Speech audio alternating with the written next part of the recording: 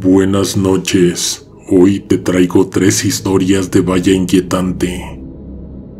Tú debes saber qué significa eso. Tú me lo has pedido. Para quien no tenga idea, el Valle Inquietante es el sentimiento que te provoca algo que parece humano, pero no lo es. Prepárate, apaga las luces o cierra los ojos, ponte tus audífonos y que venga la oscuridad.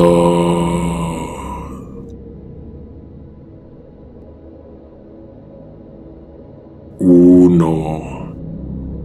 Vivimos en una unidad habitacional al sur de la ciudad. En todo el predio hay una totalidad de 16 edificios. Nosotras vivíamos en el quinto piso del edificio H. La vista que teníamos desde mi recámara, la de mi hija y la cocina era al departamento de enfrente, a uno que no tenía cortinas y que también estaba en el quinto piso, pero de la torre J. Una noche Sofía salió de su recámara gritando. Vi que sus pequeños ojos estaban llenos de terror cuando se encontró conmigo. La tomé en mis brazos tratando de calmar su llanto y pregunté qué sucedía. Fue entonces cuando pronunció unas palabras que helaron mi sangre. Un hombre la estaba mirando desde el edificio de enfrente.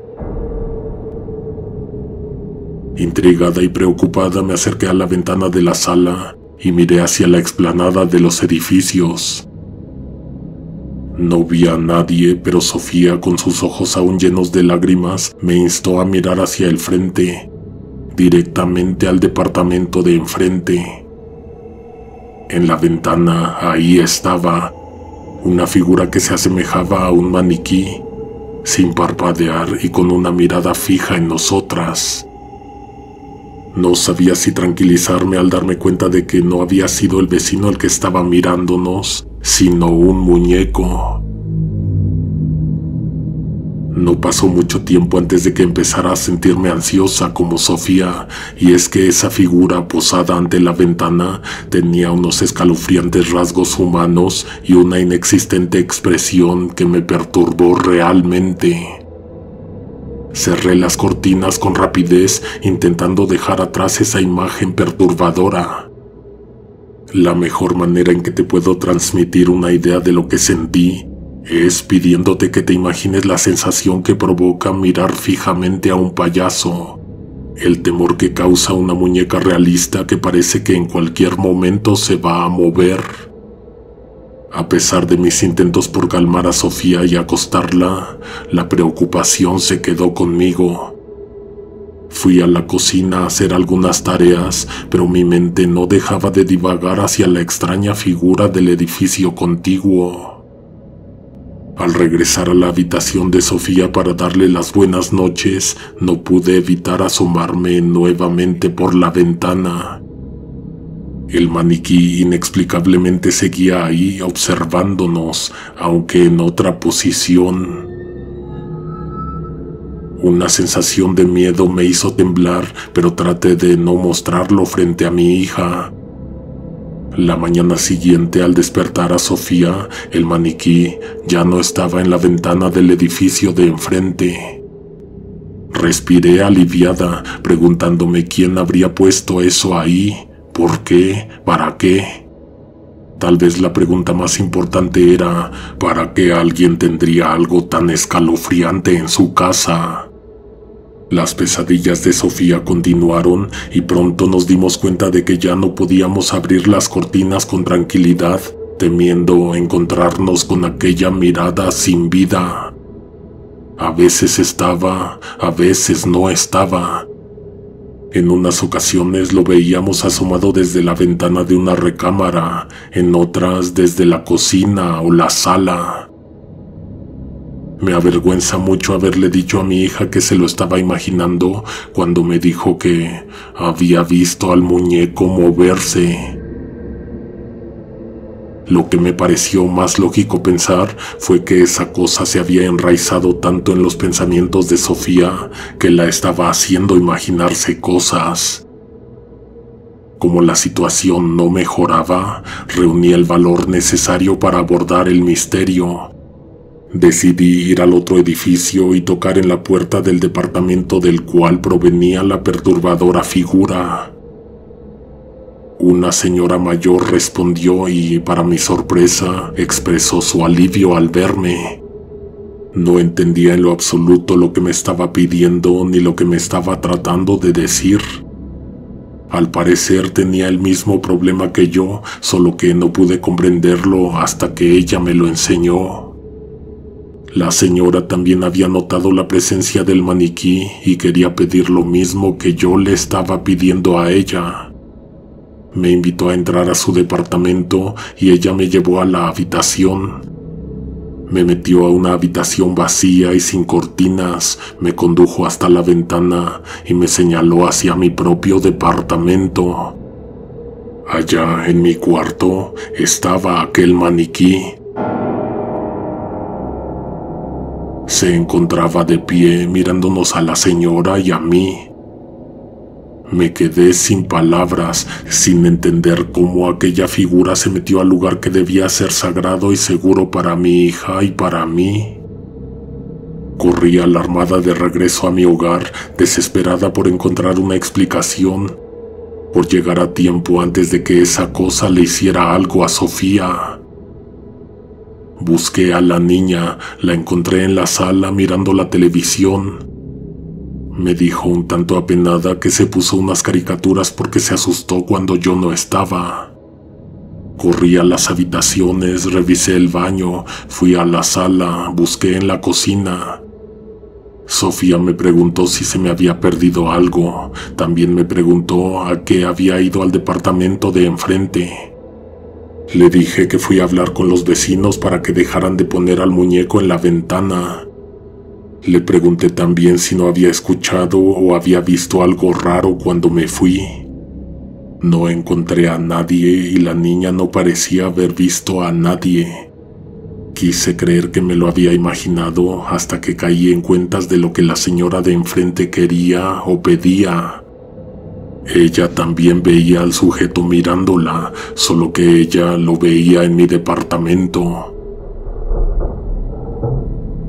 La niña vio que me quedé pensando y entonces me preguntó si de verdad no había visto al muñeco de cerca.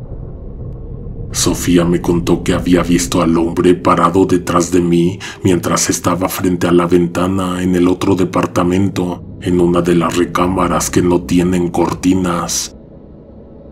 La certeza de que aquella figura inhumana se movía de manera impredecible me aterró y me llenó de miedo. Me prometí que jamás iba a volver a abrir esas cortinas, aunque hacer como que no existía no era realmente una solución. Un día me enteré de que la noticia de la presencia del inquietante maniquí no era nueva. Al parecer, la figura había sido avistada en diversos lugares, en los pasillos, en los jardines, incluso en los oscuros rincones que solían ser seguros. La gente comentaba sus encuentros, pero yo, sumida en mis propias preocupaciones, no le había prestado atención hasta que Sofía señaló su presencia. Una tarde, mientras observaba a mi hija jugar en los juegos infantiles, vi al maniquí entre los columpios. Mi corazón se aceleró y una sensación de inseguridad me dejó sin aliento. Ya no me sentía cómoda dejando a Sofía jugar sola. La tomé de la mano y estuve a punto de regresar al departamento, pero algo en mí decidió enfrentar a esa figura que ahora se había vuelto una presencia amenazante. Me acerqué con cautela, sintiendo la mirada fría y sin vida del maniquí clavada en mí. No supe qué iba a hacer cuando estuviera frente a él. Podría pedirle que nos dejara de molestar. La idea de dirigirme a una entidad que parecía más un objeto inanimado que un ser humano me parecía absurda, sin embargo algo en mí impulsó a intentarlo. Cuando estuve a pocos metros, el maniquí con una antinaturalidad perturbadora comenzó a moverse. No caminaba, más bien se deslizaba con una suavidad sobrenatural. La atmósfera se cargó de una energía extraña y sentí un escalofrío en toda mi espalda. Sin previo aviso, el maniquí se dio la vuelta y corrió hacia la oscuridad, desapareciendo entre las sombras. Aunque me dejó desconcertada, la sensación de alivio fue palpable. Mis miedos, sin embargo, no desaparecieron. Sabía que algo no estaba bien con ese ser de apariencia inanimada que deambulaba por la unidad habitacional. Finalmente llegó el día en que tuvimos la oportunidad de irnos de ese lugar al que solo habíamos venido a rentar. La decisión de mudarnos fue rápida, impulsada por el deseo de alejarnos de esa figura misteriosa y perturbadora. Aunque nunca supe la verdadera naturaleza de esa entidad, la decisión de abandonar aquel lugar se volvió un acto de liberación una huida de lo desconocido y perturbador que había acechado nuestra vida en aquel sombrío rincón de la ciudad.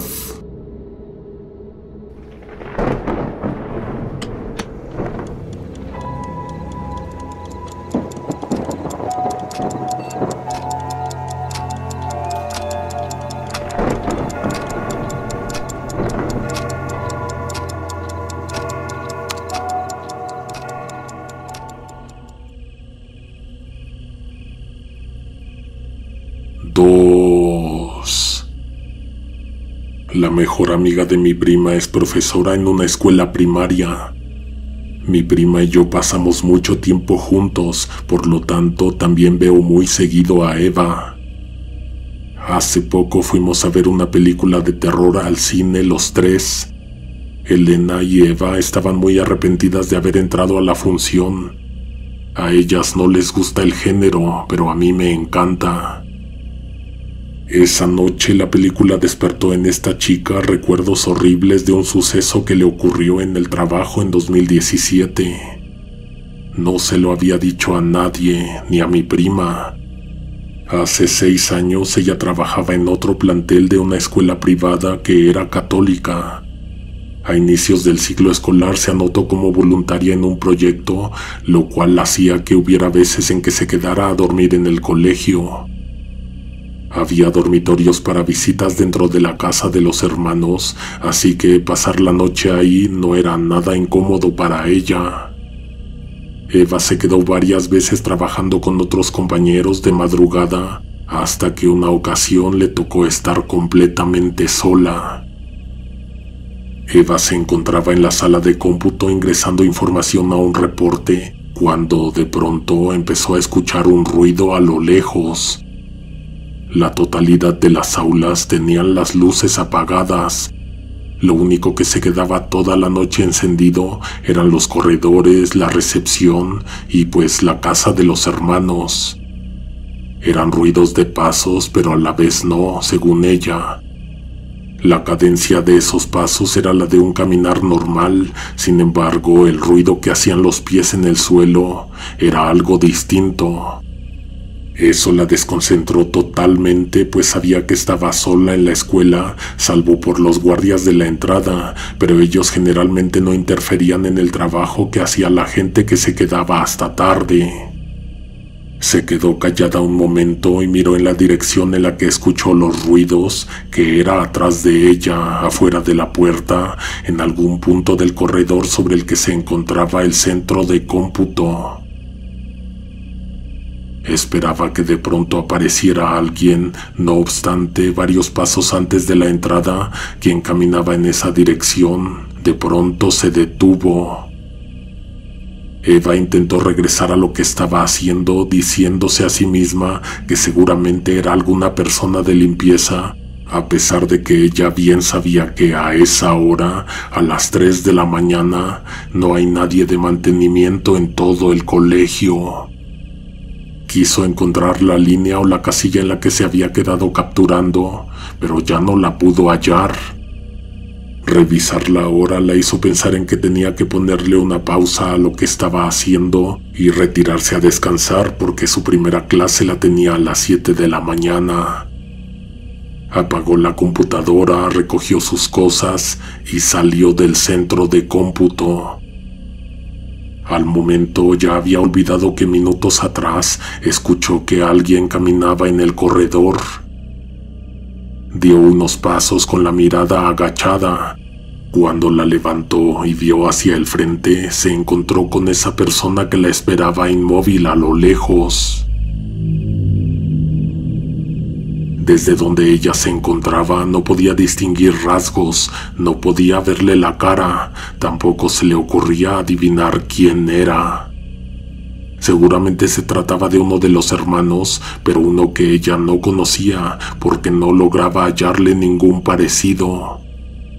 No pensó en los guardias porque esta persona tenía una túnica, no porque los hermanos usaran túnicas fuera de las ceremonias religiosas, pero pues no se le ocurrió una tercera posibilidad.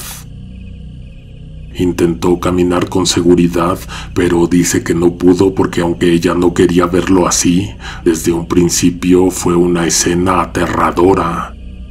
Si haces memoria, te dije que se escuchó que alguien llegó caminando hasta ese punto y luego se detuvo. Eva le calcula que esa persona estuvo en un mismo lugar, sin moverse, sin hacer ruido, poco más de media hora y contando, ya que hasta el momento permanecía ahí. La persona, apenas discernible en la distancia, parecía haber sido esculpida en el mismo material que componía las paredes del corredor. La falta de movimiento y la quietud sepulcral despertó una sensación de incomodidad que se filtraba en el aire. No había suspiros ni el más mínimo indicio de vida en esa presencia estática. A medida que se fue acercando Eva, comenzó a revelársele la expresión en el rostro, pero también otras cosas que causaron intriga y horror. Lo primero era que esa cara estaba en un suspendido grito de dolor. Lo segundo era que se trataba de un Cristo. Ella sintió sudor frío en la espalda e inmediatamente se detuvo. Trató de tranquilizarse pensando en que alguien le había dejado ahí, no necesariamente para jugarle una broma, sino para ingresarlo en alguna de las aulas. No solo a Eva, a Elena y a mí nos provoca lo mismo. Yo sé que hay muchas otras personas a las que también les aterroriza la sangrienta y dolorosa expresión del Cristo crucificado. En el colegio, en varias iglesias y en otros lugares había visto figuras y estatuas, pero ninguna como esa. Era el Cristo crucificado, pero obviamente la cruz no estaba cerca y tampoco tenía los brazos levantados. Era como si se hubiera bajado de la cruz. Eva tenía que pasar por ahí, no había otro camino hacia la salida y lo cierto era que ella no se le quería acercar a esa figura. Por la asfixiante sensación que se percibía en el corredor, era casi seguro que la estatua había llegado hasta ahí por sí sola. No quedó de otra más que proseguir el camino, pero Eva pensó, ¿y si ese objeto se torna ante mí? Al acercarse el corredor pareció estrecharse, pero en realidad solo fue el miedo actuando, envolviendo a la profesora en un abrazo frío y sombrío. Los ojos de vidrio del Cristo agonizante era la única parte que se movía de todo el cuerpo. Eva pasó cautelosamente a un lado de la estatua.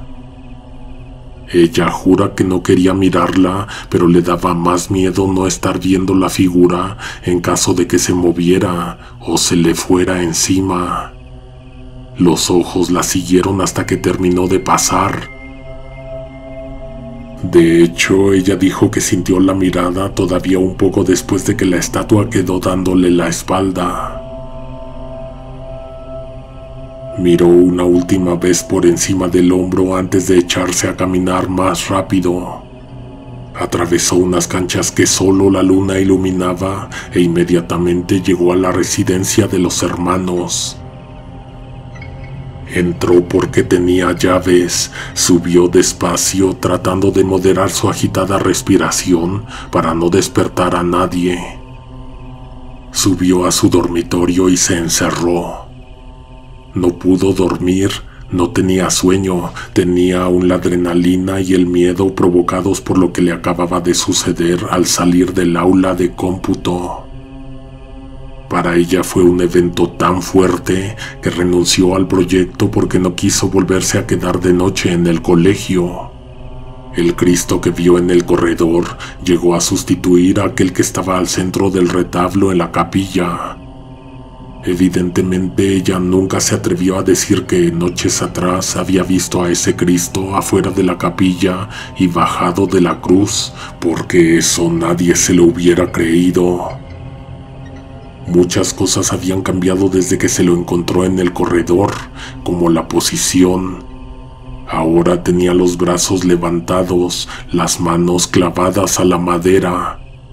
La expresión era la misma, de dolor, de desesperación.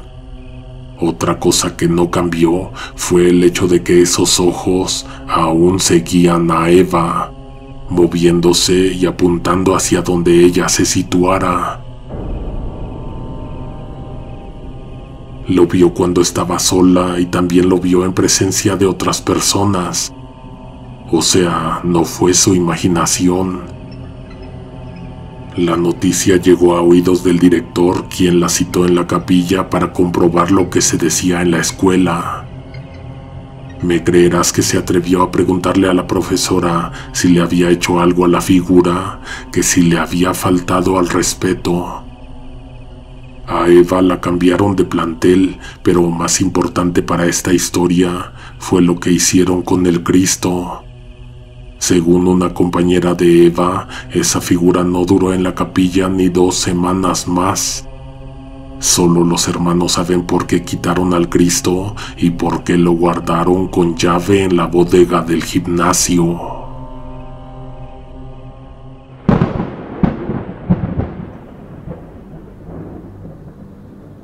3. De todas las veces que he ido a comprar cosas a la papelería, no he visto a una sola persona dentro de aquel negocio. A un lado de la papelería hay un estudio fotográfico que todavía tiene en exhibición cámaras fotográficas analógicas, rollos de película, además de que hacen revelado y toman fotos de estudio. Un día me pidieron fotografías para el trabajo. Pensé que simplemente podría tomármelas con el teléfono y decirle a mi hermana que me las imprimiera en su oficina. Fui a la papelería a ver si tenían papel fotográfico, entonces se me ocurrió que podía preguntar ahí al lado en el estudio en cuanto me saldría un paquete de fotos tamaño infantil. La puerta de vidrio hizo sonar una campanita colgada en el dintel cuando la empujé. El aire estaba impregnado con el distintivo aroma químico de los procesos fotográficos tradicionales. Una fragancia nostálgica que se mezcla con el polvo suspendido en la tenue luz que lucha por penetrar las cortinas pesadas. Recuerdo haberme preguntado cuándo fue la última vez que alguien acudió a revelar sus fotografías antes de ese día. El suelo de madera desgastado por el tiempo crujía bajo cada paso. Los estantes polvorientos exhibían rollos de película en envoltorios envejecidos. Las cajas descoloridas que alguna vez contuvieron la promesa de momentos capturados para la eternidad ahora yacían como monumentos a una era pasada. Entre las sombras se vislumbraban máquinas analógicas cubiertas de un velo de tiempo, testigos de una época no tan lejana en las que la magia de la fotografía se revelaba en cuartos oscuros. Un sujeto salió de un cuarto y caminó hacia el mostrador. ¿Tiene servicio? Le pregunté a quien parecía ser el encargado, el dueño, el técnico de revelado y el fotógrafo. Le dije que quería cuatro fotografías infantiles, le pregunté si tenía camisa y saco para prestarme, pero me mostró ropa que desde lejos se veía que pertenecía a otra década. Espera, me dijo, y fue por su teléfono. Le habló a uno de sus sobrinos para preguntarle si podía montarme el saco, la camisa y una corbata por medio de un programa de edición. Me iba a cobrar 45 pesos y me las iba a entregar en calidad de estudio, así que sin pensarlo tanto dije que sí y entré a la sala donde se toman las fotografías. Todo fue muy rápido. Lo que me hizo esperar fue el tiempo que se tardó el sobrino en contestarle al señor, en hacer la edición y mandar los archivos de vuelta solo para la impresión. Volvimos al mostrador, él recargado con los codos en el cristal y yo aguardando en un polvoriento sillón. Con la mirada recorría las paredes, las repisas, los estantes y los exhibidores. Todo era viejo y a la vez novedoso. La mayoría de las cosas que vi en ese lugar bien podrían pertenecer a un museo. Hubo algo que llamó mi atención mucho más. Encima de un póster de Kodak había una foto. Era la foto de un niño, una foto que aún sin tener el contexto o la historia fue capaz de provocarme inquietud y escalofrío. El Señor me vio clavar mi mirada en esa foto. Él también se le quedó viendo. ¿Quieres saber la historia de esa fotografía? La familia vivía dentro de la misma colonia en donde está el estudio fotográfico. El señor lo sabía porque en los recibos que les daba se solicitaba esa información. Viajaban seguido, salían de la ciudad varias veces al año. De menos una vez al mes le llevaban dos o tres rollos a revelar. Se puede inferir mucho de la vida de una persona viendo sus fotos, pero definitivamente no se puede conocer todo. Las cosas que nos atormentan nunca salen en las fotografías, el señor acostumbraba no mirar las fotos de sus clientes, sin embargo las de esa familia le llamaban la atención porque uno de los niños salía en las fotos siempre portando una máscara, o bueno, eso pareció al principio. Mientras que las caras de todos expresaban felicidad, la de ese pequeño no mostraba nada. Había veces en que a su cara se le veía un cierto tipo de brillo que hacía pensar que ese rostro era de plástico. Siempre haciendo la misma cara en todas y cada una de las fotos. El fotógrafo no tenía idea de qué era lo que veía en él, pero le provocaba un sentimiento de incomodidad. Siempre fue respetuoso y no se las enseñó a nadie ni platicó con nadie al respecto, ya que en un momento consideró la posibilidad de que el niño estuviera enfermo. Un día, en una foto, se vieron las espaldas de todos. Fue ese el momento en que el señor confirmó que se trataba de una máscara, pues en la nuca se tiraba la cuerda que la ajustaba a la cabeza. Eso lo dejó pensando hasta que cayó en cuentas de que podría tratarse de una máscara de esas que ayudan a las personas que han sufrido un accidente. Una tarde le llevaron un paquete de rollos, eran diez. Cuando empezaron a aparecer las imágenes se dio cuenta de por qué habían llevado tantos. El hijo mayor, que no era el de la máscara, se había graduado de la secundaria en los paquetes venía una gran cantidad de fotos de la ceremonia de la escuela, de un vals en un salón de fiestas, de la cena, del baile, de la convivencia. Pero había una de las fotos que llamó mucho la atención del fotógrafo. El niño de la máscara estaba debajo de la mesa, escondido. Seguramente cuando le tomaron la foto no se dieron cuenta de que él iba a salir. La máscara tenía una expresión distinta, ojos inexpresivos con una sonrisa siniestra. El señor me dijo que hasta se puso unos guantes de plástico para no dejar huellas digitales y poderla apreciar mejor.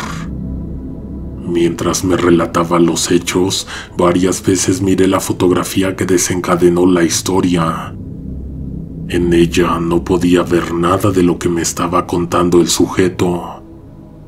Se quedó hasta muy tarde trabajando en los rollos. Le dio la una de la mañana cuando estaba por terminar.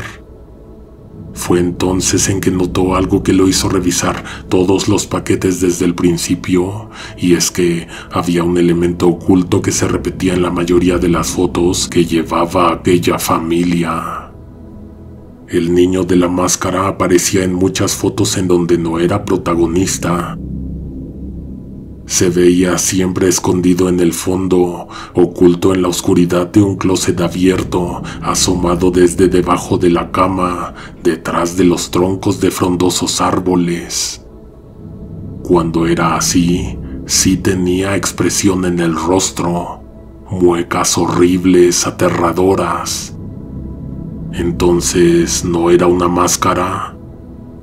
La respuesta llegó un día sin que nadie se lo esperara. Se abrió la puerta, sonó la campana. Era una mujer y un niño. No era la mujer que llevaba las fotos, su mamá, pero sí era el niño que salía en ellas, y sí, sí era una máscara. La señora era la tía del pequeño, el fotógrafo no supo qué quería probar ella o cuáles eran sus intenciones, aunque es fácil imaginarlo. Desde el momento en que entraron, esa mujer ya se estaba portando extraño. Venía por unas fotos de estudio, preguntó por un tamaño mediano como el de una postal. Al niño le dijo varias veces que no le fuera a decir a su mamá que era quien llevaba los rollos a revelar. El señor tenía el teléfono de su clienta. Fácilmente podría llamarle para decirle que algo raro estaba pasando con la tía y con su hijo. Se decidió a esperar a ver algo alarmante para actuar. Por mientras les pidió que lo acompañaran al estudio. Le pidió al chico que se sentara en un banco que puso frente a las luces. La tía caminó con él y ella lo subió al banco. Le acomodó el suéter y la camisa. Luego se puso detrás de él. Comenzó a deshacerle el nudo que ajustaba la máscara y se la quitó. El fotógrafo se llevó las manos a los ojos, cerró los párpados y se los frotó. Lo hizo entonces y lo hizo al contarme la historia. Dijo que la cara del niño se veía borrosa, como si estuviera tras un cristal empañado o como si te hiciera falta graduación en los lentes. Había una nariz, un par de ojos, una boca, sin embargo, todo se veía como si estuviera detrás de un velo. Tomó las fotos e inmediatamente se fue a hacer el proceso de revelado. Antes de entregarlas, las examinó. La cámara tampoco pudo captar el rostro de ese niño. Las fotografías estaban arruinadas, pero no por un mal revelado. Algo las arruinó desde antes de que se tomaran. Estaba medio cuerpo, desde los hombros hacia arriba. Se veía el cuello, se veía el fondo, la silueta del rostro, pero lo demás estaba distorsionado, difuso. La mujer sacó las fotos del sobre y las miró con enfado. Inmediatamente después salió con el niño de la mano y desaparecieron en la calle. Cuando el señor estaba por cerrar, salió a recoger el toldo y entonces vio el paquete de fotos tirado en el bote de basura que colocaba afuera del estudio. Las sacó, las volvió a examinar hasta que encontró una sonrisa escondida en ese rostro desdibujado. Después de esa vez, esa familia no volvió a llevar rollos a revelar. Seguramente hay una historia detrás de lo que te acabo de contar, solo que la parte que tendría que contar la familia seguramente nunca la sabremos. Existe la posibilidad de reunir la información que tenemos y con eso imaginar un poco el escenario.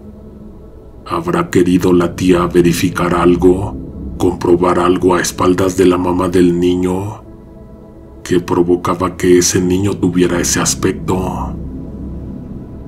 Cuando llegaron las fotografías editadas, las que me tomé para el trabajo, las pagué y me despedí. Durante varios días estuve pensando en esa historia. Hasta me llegué a preguntar cuántos años tendría el niño de la foto al día de hoy. También me pregunté si esa persona todavía viviría en la colonia. Creo que hice mal en darle tanta atención, ya que de noche se me ha hecho verlo de reojo en el parque cuando vengo de regreso del trabajo y camino del metro a la casa, a una persona con una máscara blanca escondida entre los árboles.